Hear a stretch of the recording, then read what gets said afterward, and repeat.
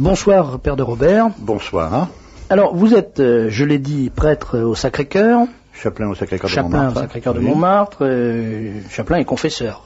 Et par force, oui, c'est le ministère de la basilique. Mais je crois en plus que euh, vous êtes un, un des... Je sais pas si on a le droit de dire ce genre de choses, mais pourquoi pas, après tout, euh, Bien, Vous êtes, personnellement, 10h30 de, de confession par jour par semaine. Par semaine Oui. Oui, c'est-à-dire réparti sur, sur, sur les 7 jours. sur oui. les 7 jours. 6 jours, Voilà. parce qu'il y a un jour de congé quand même. Euh, bon, on, on- on va peut-être, avant de, de parler de votre sujet, parler de vous. Je pense que le, euh, il est intéressant de savoir qui est ce prêtre qui un jour a décidé de se pencher sur le Padre Pio et euh, les, les deux les deux choses, vous-même et, et votre sujet, sont tellement profondément imbriqués qu'on sera amené tout naturellement à parler du Padre Pio. Mais j'aimerais bien que vous nous disiez euh, quelle est votre origine euh, géographique. En France, vous êtes savoyard, je le sais. Au Savoyard. Oh, Savoyard, pardon. Originaire d'Annecy, D'une famille de... de- de, je suis fils unique. Ah, vous êtes fils unique, Oui, oui. mais vos parents étaient euh, agriculteurs non, pas du tout. non Mon père était fonctionnaire, ma mère aussi. Les deux étaient fonctionnaires et, mon Dieu, euh, ils sont maintenant partis dans leur éternité, mais je suis rentré au séminaire à, à Rome. Qu'est-ce qui vous a déterminé à la prêtrise? Qu'est-ce qui vous a conduit à ça? Mon Dieu, ça c'est le secret un peu de, de, disons, de chacun, de chaque vocation. Chaque vocation est unique dans son genre. Mais souvent dans les non, familles... non, pas du tout. Je dois dire une chose. Il est un fait que ma mère m'a toujours dit, m'a dit après que lorsque une maternité s'était euh, annoncée pour elle, alors que le jour de mon ordination, pour ne pas m'influencer. Mm. Donc, euh, bon, j'ai grandi somme là, comme tous les autres garçons, sans être forcé. Et je suis parti à Rome. J'ai pris la, la soutane. À ce moment-là, on rentrait à- en soutane au séminaire français. Euh, j'ai pris la soutane des mains de Monseigneur Fontenelle, qui était chanoine de Saint-Pierre du Vatican, à l'hô- à l'hôtel de Pidis, devant le la chasse du pape Pidis, que j'aime beaucoup et dont je connais bien la famille.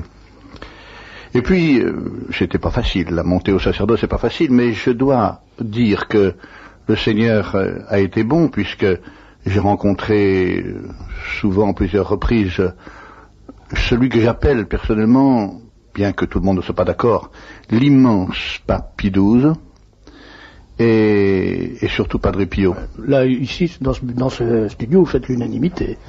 C'est un immense papier pense Oui, pas il lui m'a beaucoup marqué, effectivement. Et, Et vous l'avez rencontré plusieurs fois, plusieurs étant, fois, oui. étant séminariste. Oui.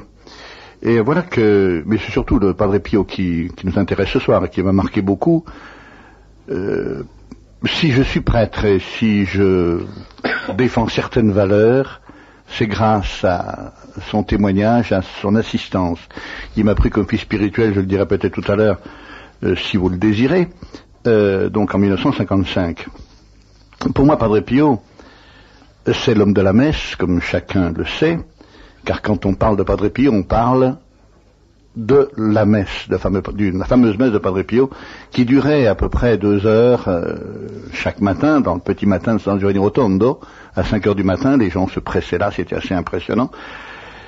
Et c'est là qu'on a compris vraiment, que j'ai compris personnellement, que la messe est la réactualisation de ce sacrifice du Christ, qui a été inauguré sous un signe, d'abord le jeudi saint, réellement bien sûr, et mise en œuvre, mise en acte, si on peut dire, le lendemain, dans le sang de la crucifixion, le vendredi saint. Et Padre Pio, je dirais comme cela devrait être le cas pour chacun des prêtres qui montent à l'autel, revivait intensément au niveau de sa foi et de son cœur, mais aussi combien douloureusement au niveau des stigmates qui marquaient son corps, parce que vous savez qu'il était stigmatisé, ce qui s'est passé donc euh, dans ce premier vendredi saint. Et pour assister et participer à cette messe si sublime, les gens se pressaient devant cette, euh, cette église, petite église de village, je dirais, de San Giovanni Rotondo, avide de, de voir Dieu tout près. Padre Pio, je dois dire, avant de parler un peu de mes rencontres, ça a été celui qui a pratiqué de façon héroïque la foi et l'obéissance, surtout lorsque par deux fois on lui a demandé de s'abstenir de paraître en public. Dans l'homme, il y a de l'hommerie, et hum, je dirais, il y a eu des persécutions. Il a beaucoup souffert de la part de l'Église, mais il n'a jamais euh, cessé d'aimer profondément cette Église qu'il appelait sa mère. Il a été impénitent, puisqu'il a porté pendant 50 années ces stigmates. Je disais tout à l'heure que Padre Pio a pratiqué d'une façon héroïque la foi.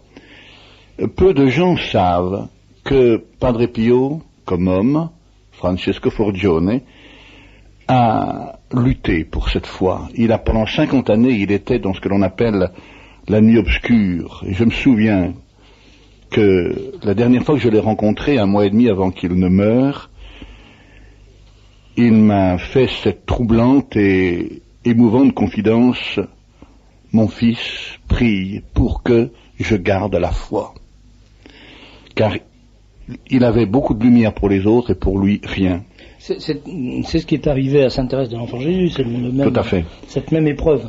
Alors, de toute façon, ben, moi j'ai cette certitude que ce grand ami de Dieu est très puissant sur le cœur du Père parce qu'il était configuré complètement au Fils et il peut obtenir euh, de, dans ce dont notre monde et nous-mêmes avons tant besoin, l'esprit de pénitence et cet esprit d'amour. Alors là, vous venez de, faire, Père de Robert, un portrait, euh, un portrait spirituel euh, du Padre Pio. Je voudrais qu'on on aille maintenant plus vers l'homme. Vous nous avez parlé de très très brièvement de, de lui. Il s'appelait Francesco Forgione. Francesco Forgione. Il est né le 25 mai 1887. Il aurait donc euh, actuellement 105 ans. Il est entré à Pietrelcina, c'est une petite, petite bourgade, un petit village qui se trouve à 10 km au nord de Benevento, Benevent, près dans la, en campagne, dans la province de Naples. Il est d'une famille euh, extrêmement pauvre. Extrêmement pauvre, une famille de, disons, de, paysans, et, mais tellement pauvre que son père, par deux fois, s'est exilé en Amérique du Sud pour pouvoir gagner quelque argent pour payer les études de son fils. Il a été dans l'école du village, euh, disons, chez un maître, ils étaient cinq ou six élèves, hein. Et très tôt s'est dessiné pour lui, enfin officiellement, cette vocation au sacerdoce et à la vie monastique. Je pense qu'il a toujours euh, voulu être prêtre et être moine, parce qu'il avait déjà cette vocation de souffrance. Il a, il a dit, il a confié un jour qu'il souffrait cette passion dès le sein de sa mère. Et ça nous ouvre des horizons extraordinaires parce que dans le gros livre que j'ai été amené à écrire et qui est le seul livre qui, qui soit appuyé uniquement sur ces lettres, j'ai traduit là 850 lettres, euh, avec l'aide d'une amie italienne, bien sûr, qui connaissait tous les dialectes du sud de l'Italie. Donc, Alors, euh, on parlera d'ailleurs tout à l'heure des circonstances de ces traductions. Euh, dans, ces lettres-là, il dit, dans, ce livre plutôt, je, dis que il, était comme l'incarnation mystique de Jésus, c'est-à-dire que c'est pas la réincarnation de Jésus, c'est pas du tout ça que je veux dire. Ah mais l'incarnation mystique. ça, ça va provoquer. Oui, je vais me faire euh, chambrer par les certaines paniques. Là. Oui, j'aurais raison d'ailleurs parce que c'est pas du tout ça que je veux dire. Non, comme de même que quelqu'un, on me dit que quelqu'un est possédé du démon, les saints sont des gens possédés par Dieu. Et lui était vraiment un, un possédé de Dieu. Alors, je, voudrais bien que vous vous attardiez un petit peu sur son enfance, parce que euh, vous nous avez dit une chose qui est tout à fait extraordinaire euh, à, l'instant, c'est que euh, il, il, avait déjà, il, partageait déjà la, souffrance de notre Seigneur dans, quand il était dans le sein de sa mère. Il l'a dit. Il l'a dit lui-même. Il l'a dit lui-même. Et alors, il était un grand pénitent, même déjà tout enfant, et euh, sa mère l'a surpris un jour en train de, se, frapper avec une chaîne de fer. Il dit, mais pourquoi tu fais ça? Et il disait, je dois me frapper pour euh, rejoindre Jésus dans le supplice qu'il recevait quand les, méchants, il disait, dans son langage d'enfant, le frappaient. Et ça, ça ouvre une, disons, une perspective sur cette pénitence qui est actuellement si méconnue, voire si décriée, que l'on fuit parce que c'est, ça ne correspond plus, semble-t-il, à une, euh, euh à, la mystique actuelle. Et pourtant, c'est quelque chose de très nécessaire. Quand on arrive à comprendre pourquoi, euh, pourquoi la souffrance du Seigneur, on comprend également la pénitence. Il y a une dimension absolument exceptionnelle qu'on ne retrouve que chez de très très grands saints comme euh, euh, Don Bosco euh, ou, d'autres que j'ignore, c'est cet éveil extrêmement fort de la foi dès la toute petite enfance. Alors, vous évoquiez cette scène qui est surprenante, d'ailleurs, qui est un peu choquante, d'ailleurs, même pour, euh, enfin, pour un catholique d'aujourd'hui, même un catholique de tradition, cette espèce de, euh, de, de, de, complaisance, si je puis utiliser ce mot-là, cette complaisance pour la souffrance, cette espèce de macération, cette espèce de sulpicianisme, quelque chose de choquant. Je vous l'ai dit euh, hors micro, c'est une des choses qui, depuis toujours, m'avait tenu un petit peu euh, en réserve par rapport au Padre Pio, jusqu'au moment où j'ai découvert votre livre, parce que je me disais qu'il y a quand même quelque chose d'anormal, quelque chose de, je dirais presque d'inhumain. De masochiste. Oui, de, de, hein. troublant, enfin de, déplaisant. Pour vous dire, Chez un enfant, en tout cas. Bon, un adulte, on peut imaginer. Pour vous dire un petit peu, donc, son milieu familial, sa mère, qui s'appelait Maria Giuseppa Dinunzio, que l'on appelait Maria Mamma Peppa, euh, qui avait épousé Grazio, son, son mari, donc seulement par amour, comme il disait, parce qu'il ne possédait vraiment pas grand-chose, hein, euh, a passé les derniers mois de sa vie dont tout près de son fils, marqué des plaies du Seigneur. Quel genre de femme c'était? C'était une femme sérieuse, pleine de respect, de dévotion. Elle ne mangeait pas de viande le mercredi, ni le vendredi, ni le samedi, en l'honneur de la Vierge du Carmel. Vous voyez déjà, dans ces campagnes reculées, euh, la, la, religion, la foi, euh, avait quand même un impact très important sur la vie de tous les jours. Elle, elle fréquentait l'Église, comme toutes les autres femmes de ce pays. Et dans ce climat tranquille, euh, je dirais climat serein même, Francesco a passé les premières années de sa vie. Alors là, il faut faire justice d'une espèce de légende dorée d'assez mauvais goût, qui nous l'avait représenté comme un enfant maladif, un visionnaire perpétuel, sans cesse tiraillé par la faim, marchant pieds nus à cause d'une extrême pauvreté, atteint de maladies nerveuses et de sauvagerie, euh, qui lui faisait fuir toute espèce de compagnie, et c'est pas du tout vrai évidemment, il semble bien quand même que ce soit Padre Pio lui-même, par un excès d'humilité, qui a quelque peu accrédité certains traits erronés de son enfance. Oui, parce qu'on l'a souvent présenté comme une espèce de débile. Euh, pas du tout, c'était quelqu'un qui était, très musclé, c'est un garçon très solide. Alors on a la preuve du contraire à travers les documents que, vous publiez, enfin dont vous publiez la, transcription, qui sont ses lettres. Et on voit bien que c'est un garçon qui, par exemple, écrit à son père quand il a, je ne sais pas quel âge il peut avoir, une quinzaine d'années euh, au maximum, il envoie une lettre à son père euh, qui à cette époque-là est à l'étranger pour gagner la vie du... Il était à Buenos Aires à ce. Et il lui envoie une, lettre qui est une lettre que j'imagine peu de garçons de 15 ans pourraient écrire aujourd'hui. Euh, la, tenue à la fois... Et le respect euh, profond, la, vénération, pour son père. Et puis la tenue euh, spirituelle de cette lettre, l'obéissance dont elle fait preuve, montre bien, et puis l'intelligence dont elle fait montre, montre bien que c'est pas du tout la lettre d'un garçon débile ni rien. De même quand lui-même raconte sa petite enfance avec des détails très amusants, euh, on voit bien que c'est pas du tout la petite enfance d'un enfant anormal. Non, euh, mais il, y a, quelque chose de plus, c'est que euh, c'est qu'il a des extases et des apparitions qui ont, commencé à, l'âge de 5 ans.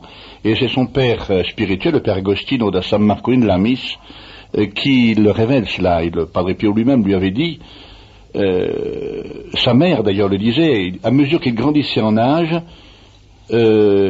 Francesco ne commettait aucune faute, disait-elle. Il ne faisait pas de caprice, il m'obéissait toujours, ainsi qu'à Grazio. Chaque matin et chaque soir, il se rendait à l'église pour visiter Jésus à la Madone. Durant la journée, il ne sortait jamais pour faire du bruit avec les autres enfants. Quelquefois, je disais, Franchi, sors un petit peu pour jouer avec tes camarades, mais il s'y refusait toujours en disant, je ne veux pas y aller parce qu'ils disent des blasphèmes. Alors là, il y a une anecdote qui est très amusante. Il est, euh, il accompagne des, il est berger, donc avec un petit camarade. Et puis euh, ils font comme tous les bergers, pour mesurer leur force, ils se, ils se bagarrent, enfin ils ont une, une, lutte. Euh, et il fait toucher les épaules à son camarade qui, de dépit, sort un juron. Sort, un juron. Et, rien à voir avec ceux que vous avez vous-même. et le jeune Francesco s'enfuit absolument épouvanté. épouvanté. Alors qu'on imagine, bon, euh, les, les, gosses sont toujours les mêmes. Mais, ce genre de je, je, crois que c'est pas du tout euh, une certaine pruderie c'est parce qu'il se rendait compte, il savait par cette âme mystique qui était la sienne, que ces blasphèmes-là étaient une offense faite à Dieu. Il avait ce sentiment-là que ses, son camarade ne l'avait pas, et que bon nombre de chrétiens ne l'ont plus, hélas, aujourd'hui. Il avait cette délicatesse d'âme que je crois que c'est une grâce à demander pour chacun d'entre nous.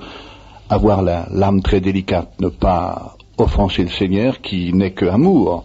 Et au Sacré-Cœur de Montmartre, c'est cela qu'on prêche, l'amour de, Jésus. Hein il disait lui-même qu'il aimait jouer, mais il aimait mieux regarder, et ça l'amusait pareillement.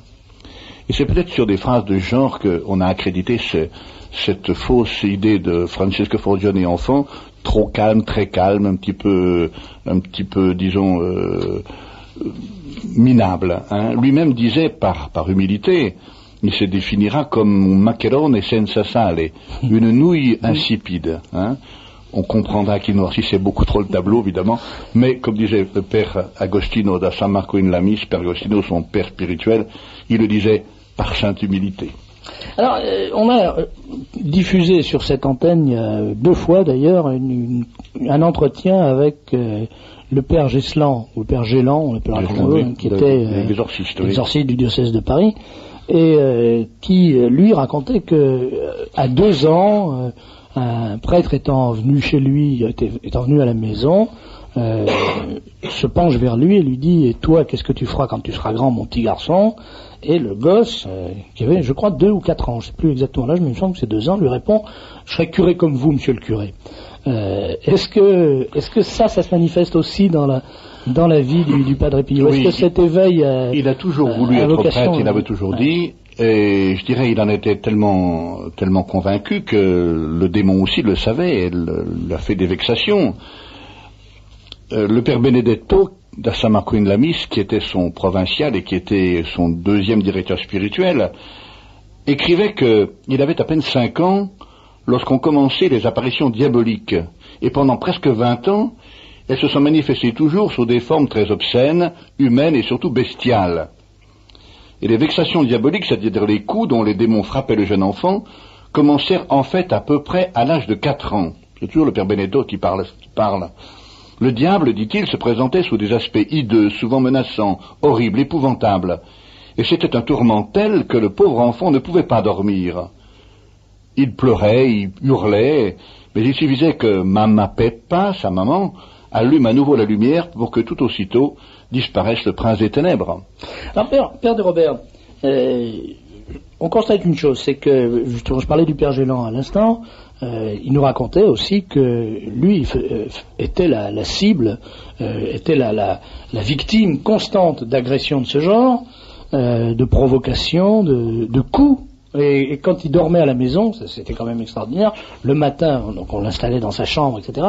Et le matin, euh, il descendait pour prendre le petit déjeuner et il nous disait J'espère que mes démons vous ont pas trop dérangé. Parce que pendant toute la nuit, il était euh, troublé par. par ben, moi, je peux vous annoncer une, euh, une, expérience c'est que un jour, j'ai servi la messe au Padre Pio et c'était un vendredi matin. Le vendredi, il souffrait beaucoup et on l'a vu arriver, soutenu par deux capucins, il, marchait encore debout, donc c'était dans les 1956, cela, euh, avec une tête complètement tuméfiée, des, bleus, etc. D'ailleurs, dans ce livre, il y a une photo que j'ai publiée où on voit des, marques énormes. Et alors, j'étais là, complètement atterré, regardant cela, et par des Pio qui, qui visiblement souffrait. Et alors j'ai posé la question au capucin qui était là, il m'a dit, oh ben, il s'est battu toute la nuit, j'ai entendu un raffut formidable, et je sais parce que je suis son voisin de cellule. Ah ça, on trouve la même chose avec le curé d'Ars. Tout à fait, qui, qui avait... donc des, infestations diaboliques, des vexations diaboliques. Bon, mais alors ça pose quand même ça une, énorme question pour les, gens comme nous qui ont la chance. Est-ce que c'est une chance d'ailleurs On peut se poser la question d'y échapper, euh, faire d'être épargné par ce genre de choses. Comment ça se justifie théologiquement au fond? Quelle est l'explication? Quelle explication peut-on apporter au fait que le Créateur euh, tolère ce genre de choses ben, je crois qu'il n'y a qu'à reprendre, la Bible, le fameux livre de Job, où on voit euh, le prince des ténèbres, Satan, qui est là, qui vient avec les autres anges au conseil de Dieu, et Satan lui dit, ben, regarde un peu ton serviteur Job, si tu me donnes autorisation de, l'ennuyer, tu vas voir un peu s'il, ne te, maudit pas. Et le Seigneur lui dit, ben va, essaye, ne touche pas à sa vie, fais, lui ce que tu peux, ce que tu veux. Et alors c'est là toutes les histoires de, tous les, les, enfants, les, biens, tout ça, ça disparaît, que Job reste quand même fidèle à Dieu en disant le Seigneur m'a donné, le Seigneur a repris, que son nom soit béni. Bon, ça prouve donc finalement que, le démon est quelqu'un qui existe, et le Père Geslan dont vous citez le nom, sait très bien de quoi il parlait. Euh, les exorcistes en principe, même si les, neuf dixièmes des gens qui, qui vont les voir ne sont pas d'authentiques possédés, ce sont des gens un peu malades, un peu dérangés, il y a quand même des cas d'authentique possession, c'est vrai. Et j'ai, je dois quand même avouer avec une certaine une certaine humilité, c'est que lorsque j'ai rencontré Padre Pio, je vous le dirai, je vous le raconterai tout à l'heure si vous voulez un peu, mais cette rencontre avec, avec lui, je ne croyais pas à ce genre de choses parce que je me disais c'est un petit peu la légende. Enfin, il a fallu que je voie de mes propres yeux d'authentiques possédés qui ont été délivrés par Padre Pio pour me rendre compte que ça c'était vrai. Dans mon livre d'ailleurs je, rencontre, je, je, raconte deux ou trois choses de, de, de, ce genre-là et dans la petite plaquette également qui s'appelle Padre Pio, témoin de Dieu, maître spirituel, homme de la messe, je rencontre également une, euh, un cas de possession où j'ai été le témoin oculaire de cette affaire-là. Mmh, oui, c'est extraordinaire d'ailleurs. Je voudrais qu'on revienne, ou plus qu'on revienne à la petite enfance. Oui, mais alors je disais justement que finalement le démon, vous posez cette question-là, pourquoi le, Seigneur permettait-il cela? Parce que le démon savait très bien que c'était un ennemi épouvantable et qu'il allait lui arracher des, des âmes innombrables. Parce qu'il y avait, il y avait dans, dans l'ambiance de Padre Pio, dans son, dans son ministère sacerdotal, des conversions extraordinaires qui sont passées là. Hein vexation diabolique. Alors évidemment, euh, quand on, ce pauvre enfant se peut-être hurler, son père, son père, son père devenait fou et il disait, un jour il a même manqué, il, a même, euh, disons, le, menacé de le jeter par la fenêtre. Puis sa mère lui avait répondu non, non, euh, sois calme, nous l'élèverons pour expier nos péchés. C'était très gentil, très joli. Ce que, ce que vous nous expliquez sur l'infestation diabolique, on peut le comprendre pour un adulte. Euh, pour un prêtre ou pour un religieux ou pour une religieuse, parce que il y a une action volontaire d'engagement dans le combat. Non, mais on n'en est pas prêtre. Hein. On mais pour un an, justement, cet enfant de 4 ans, de 5 ans qui subit cette épreuve, c'est justement parce que Padre Pio était un être euh, tout à fait à part. Euh, comme preuve de ce que je vous dis là, euh, je raconte dans ce livre qu'un jour, euh, ses confrères, San Giovanni Rotondo, lui ont dit, mais père, de temps en temps, vous arrive de chasser des gens du confessionnal. C'était assez spectaculaire. J'ai assisté plusieurs fois à des, hurlements du, Padre Pio dans son confessionnal, en chassant les gens, mais violemment, va chercher un autre confesseur, va-t'en, tu n'es pas prêt. Et les gens erraient pendant des jours des semaines dans le village, sachant très bien qu'ils ne pouvaient pas s'en aller sans avoir euh, reçu le pardon de cet homme de Dieu. Mais il savait, lui, qu'il allait, allait, revenir, parce que c'était Padre Pio. Alors ses confrères disaient, mais c'est quand même curieux, parce que vous, vous, pardonnez, vous, vous, vous permettez de, de, de, mettre les gens à la porte, et nous, on les reçoit et on leur donne l'absolution. Et Padre Pio, bien qu'il soit extrêmement humble, avait donné une réponse tout à fait, euh, tout à fait curieuse, mais les, ses confrères avaient noté que c'était pas du tout sa même intonation, la même intonation de sa voix. Il avait dit, vous, vous pardonnez toujours, mais de Padre Pio, il n'y en a qu'un qui accrédite donc cette idée de, cette, disons, de cette présence extraordinaire du Seigneur dans ce corps de Padre Pio, c'est le Seigneur qui parlait, qui, accueillait et qui, et qui faisait finalement, qui chassait ces gens du confessionnal, non pas parce qu'il ne pouvait pas les entendre, mais pour susciter en eux euh, davantage de, de, contrition. Et quand je pense très souvent, quand je suis moi dans ce confessionnal du Sacré-Cœur de Montmartre, et que je vois des, disons, des gens qui, humainement, à vue humaine, hein, parce qu'on ne peut pas lire le fond des consciences, ne présentent pas tellement de, disons, de, signes de repentir de leur faute. Je me dis, mais bon sang, qu'est-ce qu'ils vont faire? Pourquoi? En sachant très bien que s'il n'y a pas la correspondance et le désir de, demander pardon et de, reconnaître cette faute, et je dirais même limite de souffrir, parce que notre faute a offensé cette majesté divine, l'absolution risque d'être euh, invalide, disons les choses. La fameuse, la, grande, à, mon, à mon avis, l'une des paraboles les plus importantes de l'Évangile, c'est celle que vous connaissez bien, celle de l'enfant prodigue. Mmh. Hein bon, ce, gosse qui s'en va faire euh, la foire, comme on dit, et, qui va revenir. Mais il faut bien dire une chose, c'est que il, va là, vraiment, c'est la déchéance, il va garder des porcs, lui qui est un juif, il va garder, il va garder des porcs. Il va partager même leur, pitance. leur pitance. Mais il va, il va faire son cinéma. Hein il va faire ceci, mais il va dire voilà, je vais quand même rentrer chez moi, mais qu'est-ce que je vais dire à mon vieux père? Alors il, va comment, il, essaye de, se bâtir une phrase, etc. Parce que son repentir, il se situe pas du tout au niveau de son cœur, mais simplement au niveau de son estomac. Il a faim. Mais pendant ce temps-là, l'Évangile dit que le Père l'attend. Et il vient quand même. Et c'est parce qu'il a fait ce, premier pas, même dans, avec ses, disons, ses dispositions si peu, si peu valables, euh, si peu recommandables, je dirais, qu'il vient c'est parce qu'il vient que la rencontre avec le Père peut se faire. Alors si on n'a pas un tant soit peu de désir de rencontrer le Seigneur dans un sacrement, le sacrement ne marche pas, entre guillemets, on ne peut pas le trouver, c'est pas possible. Alors il y a, hélas, mais c'est le secret de chacun, peut-être des, sacrements qui sont donnés invalidement. Alors on va revenir tout à l'heure sur le, confesseur, Padre Pio confesseur, parce que c'est un sujet euh, capital, c'est vraiment une des dimensions les plus, les plus stupéfiantes du personnage, les plus, les plus importantes en tout cas. Mais je voudrais qu'on reste euh, là, euh, dans, à ses débuts. Alors donc il, est enfant, comment se passe son accession à la, à la prêtrise Alors il a, donc, il a donc, il est né donc à 87 et en 1903 le 6 janvier, il s'en va à quelques kilomètres de Pietrelcina au couvent de Morcone, où il entre au noviciat. Il entre au noviciat très très tôt, mais donc j'ai visité ce couvent euh, pour prendre les photos qui sont publiées dans ce livre. Euh, j'ai été un peu effrayé, je me dis bon sang, euh, moi là-dedans je ne pourrais pas tenir, c'est vraiment, c'était quelque chose qui correspondait à cette époque-là, vraiment sur le dépouillement le plus total, et il y avait sur le, le couloir, dans le, au plafond du couloir, il y avait ou aimer ou mourir. Il avait 16 ans à l'époque. Hein. Il avait 16 ans. Donc à 16 ans, il rentre. Il rentre là. C'est un endroit qui est glacial. Qui euh, non, c'est pas glacial. C'est dans le Samnio. donc euh, si vous connaissez un peu donc la carte de l'Italie, vous voyez à peu près où se trouve l'abbaye du Mont Cassin. Mhm. C'est juste derrière, mhm. dans ces montagnes là. Euh, c'est un coin assez joli, très sauvage. Le couvent est en dehors du petit village c'est assez pittoresque. Hein. C'est vraiment le, le, coin très boisé.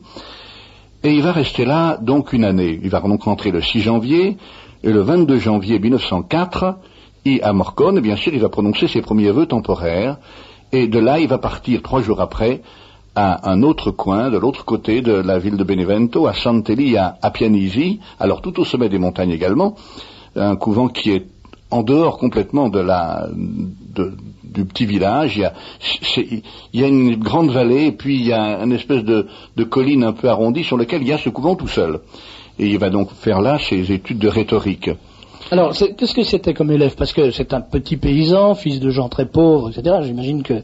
Il a eu un certain mal à, à apprendre parce que, bien qu'il ait une intelligence assez vive, hein, du mal parce que parce qu'il connaissait des tas de choses dans, l'ordre mystique et mon Dieu se plier à la discipline euh, de, intellectuelle c'était assez difficile pour lui. Mais enfin il est, euh, ses confrères disaient que c'était un élève tout à fait acceptable normal et ça donc ça, ça prouve tout simplement que quand le Seigneur veut y mettre un puits pour son grain de sel comme on dit il aide toujours les gens. Et vis de, ses, camarades. Il était impressionnant ses confrères comme on dit à ce moment-là. Mm, ben, il, il le vénérait beaucoup parce qu'ils ils avaient l'impression qu'il le dépassait de son coudé.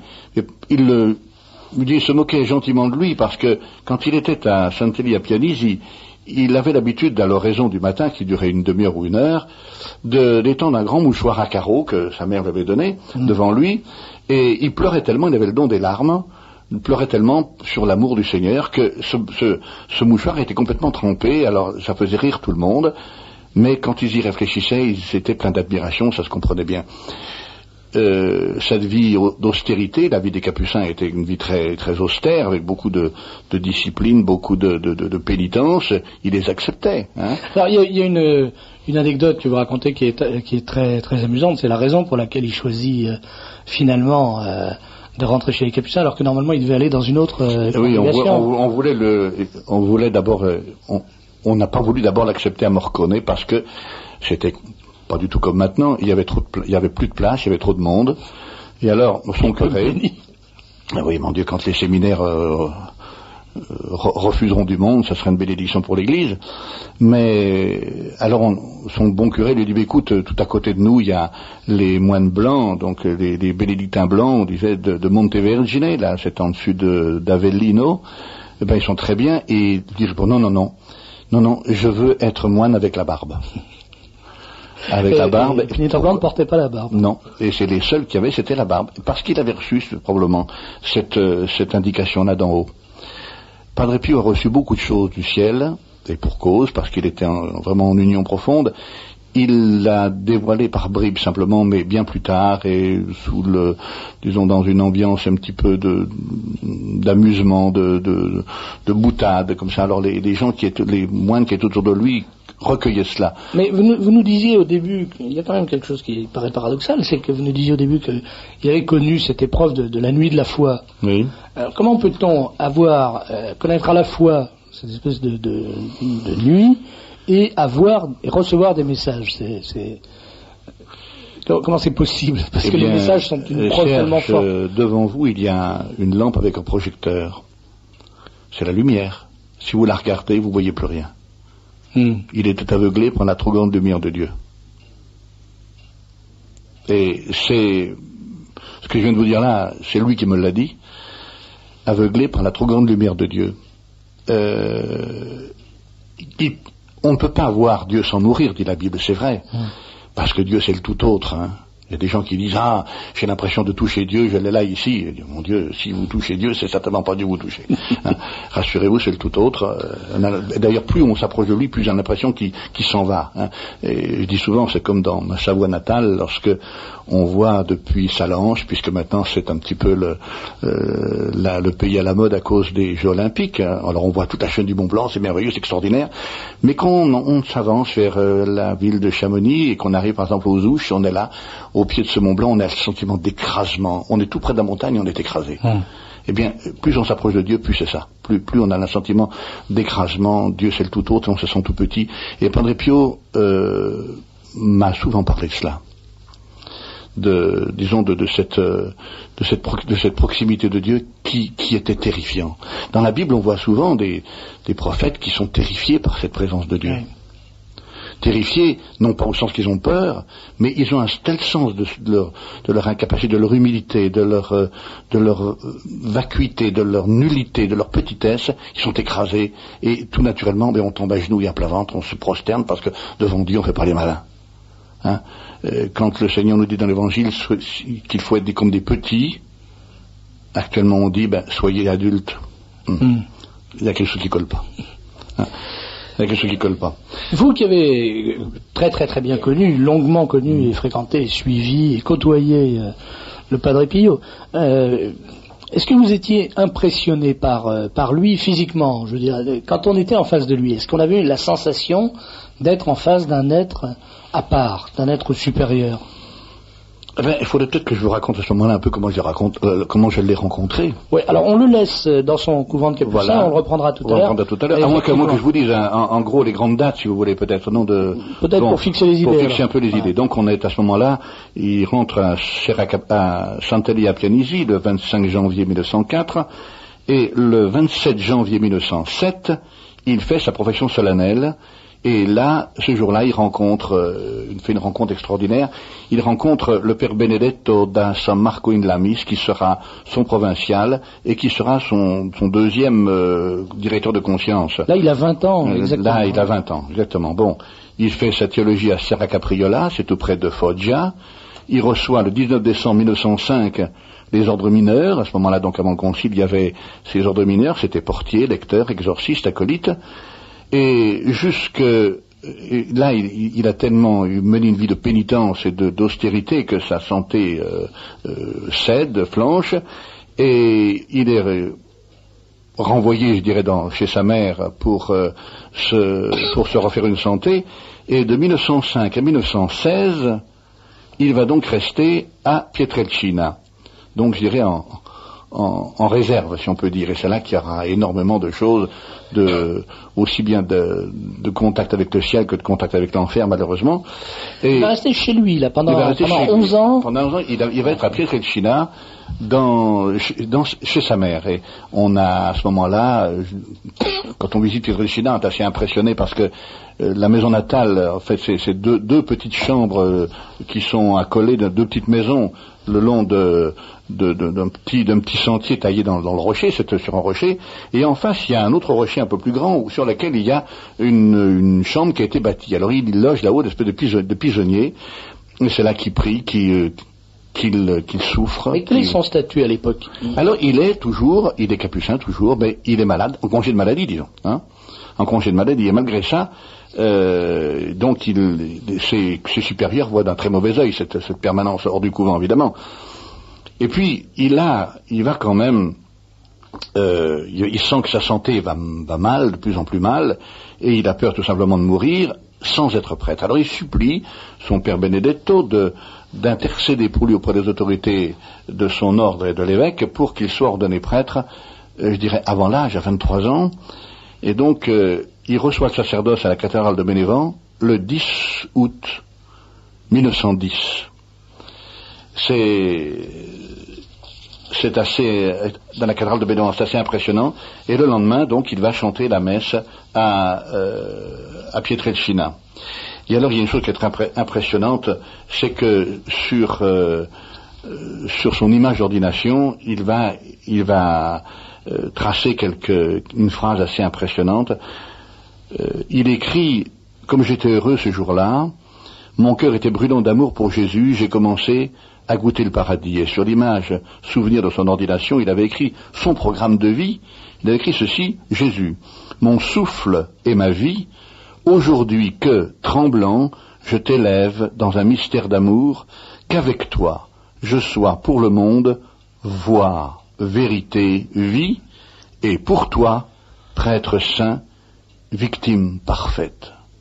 C'est son, c'est son, disons sa devise, son, son, son programme de vie. Alors, il est donc prêtre maintenant pour l'éternité et commence à ce moment-là euh, cette longue série de messes impressionnantes qu'il célébrera jusqu'à sa mort. La dernière fois qu'il montera à l'autel, ça sera, vous le savez, le 22 septembre 1968 et quelques heures plus tard, le 23 septembre à 2h30 au cœur de la nuit, il va rendre son âme à Dieu. Euh, euh, au, plan, de sa vie mystique, on en parlera tout à l'heure, disons tous ces les, charismes dont il a été, dont il a été gratifié. Hein. Alors, je voudrais revenir à, cette période où il est, il est chez lui. Oui. Euh, donc, qui va durer dix ans, enfin un peu plus de dix ans. Pendant dix ans, donc, il va être d'abord comme euh, capucin et ensuite comme prêtre, à partir de 1910, euh, enfermé en quelque sorte à la chambre, chez lui. Non, il, bah, il pouvait sortir. Hein. Les parents de, de Padre Pio avaient une petite, petite ferme à Piana Romana, à 5 km de là, il y allait pratiquement tous les jours. Et c'est d'ailleurs là, dans cette, euh, dans cette propriété, euh, qu'il a reçu pour la première fois donc ces stigmates invisibles. Alors, qu'est-ce que vous entendez par stigmate invisible Eh bien, c'est-à-dire que au cours d'une prière, donc, euh, il a ressenti très très fort des espèces de brûlures énormes aux mains, aux pieds, aux côtés. C'était comme si c'était des, les membres étaient percés mais euh, on ne voyait rien à l'extérieur, à une petite rougeur, et lorsque sa mère l'a vu, l'appelait pour le, déjeuner, elle l'a vu qui agitait les mains, elle dit qu'est-ce que tu fais par des piaux, tu joues de la guitare? Elle dit non, non, c'est une brûlure sans importance. En fait, il avait reçu pour la première fois donc ces marques du Seigneur. Et il va d'ailleurs le dire, je, cite cette lettre dans mon livre, euh, au Père Benedetto, euh, un mois après, il va expliquer ce qui se passe. Il a vu arriver donc cette, cette tache rouge aux mains, aux pieds, des douleurs très très très intenses et qui ne l'ont pratiquement jamais quitté. Hein. Bien, nous continuons cette émission avec le père de Robert, auteur de Padre Pio transparent de Dieu, et auteur, je dirais, plus autorisé que n'importe qui, puisqu'il a partagé, il a euh, partagé la, vie du Padre Pio pendant des années, il l'a connu, côtoyé, et il est un de ses fils spirituels. On... Dois peut-être rejoindre un peu Padre Pio à cette époque, vers 1910, 1912, 1914. 1914, c'est la guerre. Et Padre Pio, donc, euh, se retrouve aussi militaire. Il y a une photo dans ce livre qui est assez curieuse. On voit Padre Pio, lui, vraiment le, grand confesseur, après le, saint que l'on va connaître, qui est, assis en tailleur avec un fusil dans les bras. Ça fait un drôle d'effet quand même, il est dans, dans, ce, dans ce livre. Et il a participé à des combats Non, pas du tout, pas du tout. Il est resté, euh, disons, euh, au district militaire de Bénévent. Il était à Naples. Il a été le 6 décembre 1915 affecté à la 10e compagnie sanitaire de Naples mais quelques jours après, le 18 décembre, il était renvoyé chez lui en congé de maladie. Le passé, le passé militaire de Padre Pio est loin d'être glorieux. Euh, il a beaucoup souffert de cela. C'est-à-dire que le bâton de maréchal qu'il avait dans sa giberne, c'était pas, c'était pas celui-là. Tout à fait. Mais alors, quant à sa vie spirituelle, est quand même très important parce qu'à ce moment-là commence à se dessiner Padre Pio l'adulte, si vous voulez, hein. Celle qui maintenant, bon, nous intéresse, si vous voulez, parce que c'est sur ce chemin-là que chacun est appelé à le suivre, à suivre ce géant de la sainteté, eh bien on peut affirmer qu'il va en gravir tous les échelons. L'amour et la souffrance, qui n'iront jamais l'un sans l'autre, seront pour euh, Padre Pio, comme du reste pour toute âme généreuse, l'unique chemin qui conduit à l'union intime avec Dieu. il va connaître des difficultés atroces. Il va soutenir avec l'enfer des luttes dont il est difficile de se faire une idée. Mais en contrepartie, il va jouir de consolation, de joie spirituelle parfaitement explicable, au dire même de Padre Pio. Alors, on, sait qu'il a été assez maltraité par la hiérarchie à plusieurs reprises. Oui, mais bien plus tard. Est-ce que ça non, c'est ça, c'est plus tard. J'allais vous demander si ça commençait à ce moment-là. Bien plus tard. Non, non, bien plus tard. Est-ce qu'il se manifeste déjà jeune prêtre comme un vis-à-vis de ses paroissiens, par exemple, ou des. il n'a pas été paroissien. Enfin, oui, il est comme un confesseur extraordinaire et surtout comme quelqu'un donc qui, célébrait la messe d'une façon euh, absolument exemplaire, extraordinaire, euh, euh, poignante même, puisque et, longue, parce que les gens de Pietrelcina euh, qui avaient du travail dans leur champ se sont plaints au curé de que les, messes de Padre Pio duraient trop longtemps. Hein. Mais ils étaient Padre Pio avait, avait d'ailleurs obtenu là, de son du curé qui était, je crois, son oncle, non pas Nullo, il avait obtenu la clé de l'église et il était après sa messe, il restait en, en adoration des heures, puisque un jour le curé l'a trouvé, après sa messe de très tôt le matin, il l'a trouvé à deux ou trois heures d'après-midi, allongé sur les dalles, en pleine extase. Il savait pas du tout où il était. Hein. C'est quelque chose d'assez extraordinaire. Donc, euh, Padre Pio a oscillé entre, euh, disons, entre le ciel et l'enfer, c'est cas de le dire, et d'une difficulté à l'autre, d'une joie à l'autre. Padre Pio est monté vers cette union transformante avec Dieu. Sa vie spirituelle, à ce moment-là, devient de plus en plus une vie mystique. Les effusions de la grâce sont parfois si fortes euh, qu'elles se répercutent dans son corps et dans ses sens. Sa prière euh, devient de plus en plus passive, c'est-à-dire qu'il se laisse envahir par Dieu, il laisse Dieu agir dans son âme, puisque désormais, eh bien, il s'est offert à lui. Alors c'est là qu'on note dans ses lettres, des lettres qu'il écrit, euh, certains élans d'amour qu'il porte vers Dieu, en réponse, il y a ce que l'on appelle des touches mystiques, ces invasions, pourrait-on dire, de sa nature, par la substance divine. C'est le moment où il subit le trait de feu, le 23 août 1912, c'est-à-dire une blessure analogue à celle qu'aurait faite une lance dans son cœur. C'est ce, qui est, ce qui est arrivé à Saint François d'Assise, voilà. qui est représenté dans l'iconographie. et surtout, et surtout euh, Thérèse de Villard la fameuse statue du Bernin qui était mhm. de, transverbération, je dirais. Hein. C'est l'époque où on va voir apparaître dans ses membres les marques du crucifié. Alors là-dessus, euh, Père de Robert, il y a beaucoup de questions. C'est un sujet. On reçoit beaucoup de questions. Je m'empresse de dire qu'on répondra à toutes, euh, enfin mhm. toutes celles qui euh, peuvent recevoir une réponse en tout cas. Et sur les stigmates, c'est un des sujets qui, naturellement, c'est spectaculaire. C'est un des sujets qui provoque le plus d'interrogations. Et alors, l'interrogation qui revient tout le temps, c'est... Euh, pourquoi elles sont pas... Voilà, c'est ça. Pourquoi elles ne sont pas dans les poignets, mais au creux des mains C'est un fait que euh, toutes les études qu'on a pu faire sur Saint-Suaire, ou bien, disons, les études du docteur Barbet et tout ça, montrent bien que la crucifixion a eu lieu dans le poignet, et c'était donc le supplice euh, romain. Ça. Alors, mais ce sont des plaies réelles, mais symboliques. Symboliques. Réelles, mais symboliques. et moi, je les ai vues. Vous les avez vues, voilà. Euh, je les ai vus. Euh, parce que le, le, le, Padre Pio portait des mitaines en permanence. Il portait des mitaines sauf pendant la messe et dans les messes que j'ai pu lui servir, euh, bon, les, les, mains étaient, étaient à découvert.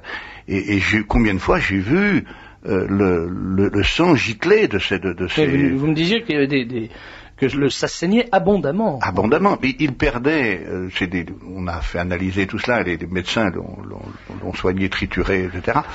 Il perdait par la plaie du côté à peu près la valeur d'un verre de sang artériel par jour, et il mangeait en fait comme un petit oiseau, comme il disait, d'une façon absolument, euh, euh, disons, euh, insuffisante pour, pour combler toute ce, ce, cette perte-là. Ce sang était, était parfumé, parfumé euh, violette ou encens. Ça, c'est tout le monde, tout le monde se rendait compte de cela.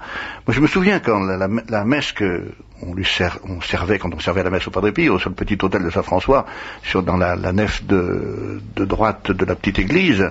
Donc il n'y avait qu'un seul marchepied. On était là, le nez contre l'hôtel, à, côté de lui, et les, les, sous l'effet de la souffrance. Combien de fois j'ai vu que les membranes qui couvraient ses plaies sautaient et le sang coulait, un sang parfumé. Et j'ai là, je vous ai montré tout à l'heure, ce, purificatoire avec lequel il a célébré la messe pendant sept ans, qui était taché de son sang combien de fois hein? Je me souviens d'une messe euh, euh, impressionnante où il parlait avec le Seigneur qui était là et il disait tu me feras souffrir jusqu'à ce que je tombe. Il parlait avec quelqu'un qui était là. C'était je vous raconterai tout à l'heure, si vous voulez, la première messe que, à laquelle j'ai assisté, c'était absolument bouleversant. Et ce sont des choses qu'on ne peut pas nier. Hein. Mais je voudrais retenir, revenir, si vous voulez, un peu la, la vie spirituelle de Padre Pio, qui explique beaucoup, beaucoup, disons, ces, choses extérieures. Les gens ont, le tort, je crois, de, de rester à la superficie de Padre Pio en disant qu'il était stigmatisé, il avait le don de double vue, il lisait dans les âmes, il se promenait un peu partout, il avait le don de bilocation. Bon, ce sont des choses, c'est vrai. Mais pourquoi? Qu'est-ce qu'il y avait au fond de son cœur hein? Euh, Il y a donc euh, ces marques de, de, la passion deviendront visibles et permanentes en septembre 1918, le 20 septembre 1918. Et le 28 juin 1912, il écrit dans une lettre à son provincial qu'il participe à la passion de Jésus. Alors, tels sont, si vous voulez, quelques-uns de ces phénomènes que l'on notera dans cette période. Ils sont plus ou moins fréquents, plus ou moins intenses, mais nous savons que les années passant, ces phénomènes-là vont se multiplier tellement que pas un seul instant de sa vie, semble-t-il, n'a échappé à cette influence divine et diabolique tout à la fois. Ça, c'est quand même une grande question, Père. Euh, j'y reviens.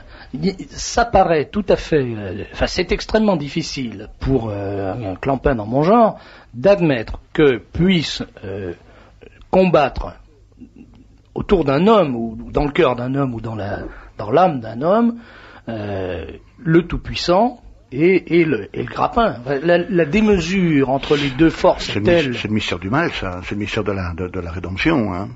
Alors, je crois que dans le fond, la grosse question que les gens se posent, pourquoi tant de souffrance?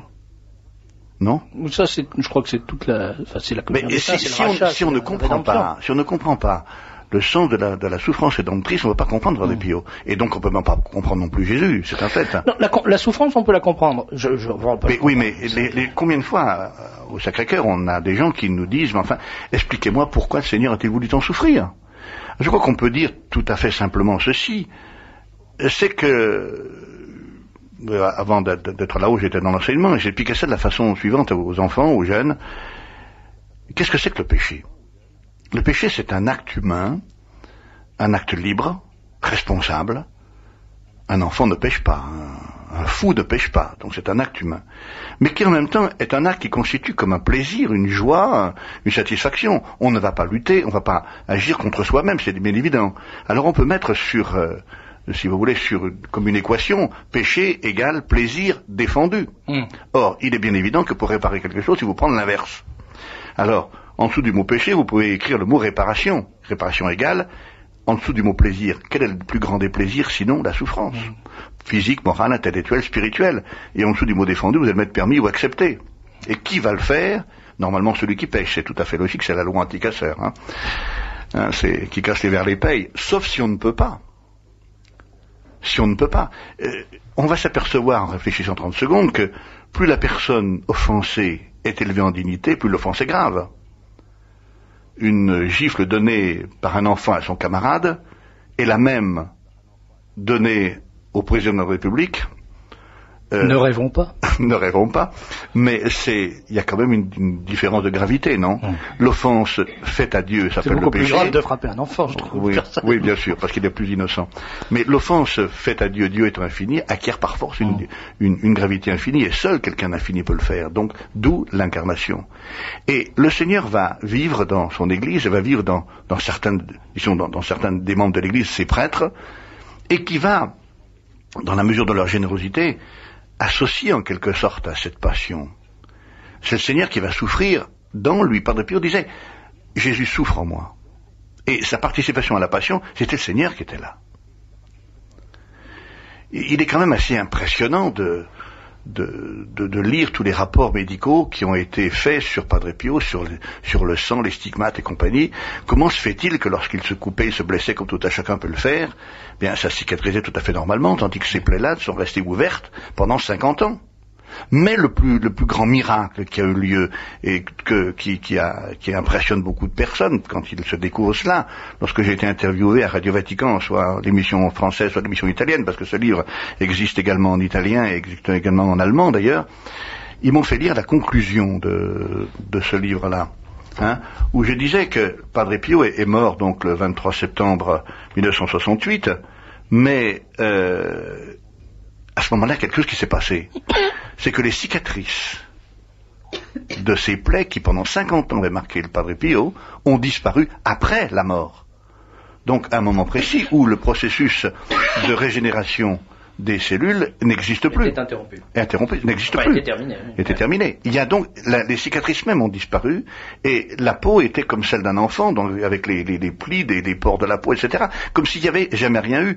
Les pieds qui avaient Voilà. porté le Seigneur. ça c'est tout à fait extraordinaire, l'histoire des pieds. de- Les pieds, c'est quelque chose d'extraordinaire. D'ailleurs, dans ce livre-là, j'ai, on a publié les photos des membres de Padre Pio après la mort. hein. Mais je voulais vous dire ceci. Voilà, je vous donne simplement la, la- la conclusion de ce livre. hein. Nous sommes convaincus, quant à nous, qui avons bien connu le Père, que Jésus est venu revivre sa vie et sa passion en Padre Pio. Il était devenu pour Jésus comme une humanité de surcroît, un instrument parfait et docile entre les mains de Dieu. Plusieurs fois au cours de ces pages, nous avons affirmé que le Père était comme l'incarnation mystique de Jésus, le Seigneur ayant pris possession, au plein sens du terme, de toute la personne de cet humble religieux. À travers lui, Jésus était venu rappeler au monde la nécessité de la prière, de la souffrance, du sacrifice, pour expier le péché qui détruit l'amour de Dieu. À travers Padre Pio, Jésus était venu appeler le monde à nouveau, à la conversion, au retour à lui, à la sainteté. La mission était désormais accomplie, Padre Pio mourut, Jésus retourna comme en sa résurrection dans le sein du Père, et il ne resta plus ici-bas que les membres de Francesco Forgione qui n'avaient jamais foulé notre terre. Voilà, c'est ça, c'est c'est Et- une, une une phrase extraordinaire parce que ils m'ont fait lire cette chose à la Radio Vatican parce que c'était impressionnant, parce que c'est vrai. Et lorsque j'ai donné ce livre euh, à, à celui que l'on appelle Bill, qu'on appelait Bill, qui s'appelle, qui était le grand, euh, ceux qui ont connu Padre Pio, on se rappelle d'un grand frère capucin américain qui, poussait Padre Pio- dans son fauteuil roulant. Il est maintenant prêtre sous le nom de Giuseppe Pio. Quand je lui ai montré ça, que je ne comprenais pas le français, je lui ai traduit en italien, il s'est mis à pleurer, il m'a embrassé, il m'a dit « Enfin, toi, tu l'as compris ». Euh, c'est quand même impressionnant cette histoire. Et alors, lorsque une chose que je suis quand même pas osé mettre là, mais qu'on peut dire maintenant, mais que les années ont passé, c'est que lorsqu'on mettait à côté les chaussures que Padre Pio avait portées pendant 50 ans et les pieds de Francesco Forgione, il y avait quatre pointures de différence. C'est quand même un C'est- euh, c'est un phénomène impressionnant. Et alors, les capucins de San Giovanni Rotondo, quand ils se sont aperçus que les stigmates avaient disparu, ont pris peur. Ils se sont dit, qu'est-ce qui se passe? Que ça veut dire? Au lieu de comprendre que c'était le plus grand miracle qui puisse exister parce que c'était la signature vraiment de, de Dieu, ils ont camouflé tout ça. Ils ont remis des chaussettes aux pieds de Padre Pio et des gants parce qu'ils ont, promené le, corps, euh, disons, dans dans un cercueil ouvert sous une vitre, dans tout San Giovanni Rotondo, dans tout le village, et ça a duré, euh, je crois, la procession a duré plus de quatre heures, avec plus d'un million de personnes. Tout le monde euh, voyait donc Padre Pio avec les gants, mais personne ne savait à ce moment-là que les cicatrices avaient disparu. C'est après, ils ont, ils ont compris après que c'était quelque chose d'extraordinaire. Il y a suffisamment de preuves et d'analyses pour, et, de témoignages, dont le mien bien humble, qui ont vu les stigmates de Padre Pio et qui maintenant ben, peuvent dire oui, il était vraiment stigmatisé. Et maintenant, il ne l'est plus. Pourquoi? Parce que c'était le Seigneur qui prend possession tellement de, cette, de, de cet être-là que, bon, quand il meurt, il n'y a plus rien. Alors, Père de Robert, je voudrais maintenant qu'on en vienne euh, je sais que ça vous, vous plaît pas tellement, mais on a parlé longuement de Padre Pio, on a, vous nous avez expliqué qui il était, vous nous avez raconté sa vie, vous nous avez, très brièvement, mais enfin très, très survolé, vous nous avez donné euh, beaucoup d'informations sur euh, euh, le caractère mystique de, de- de ce personnage, mais ce que j'aimerais maintenant, c'est que vous nous racontiez, vous et, et Padre Pio.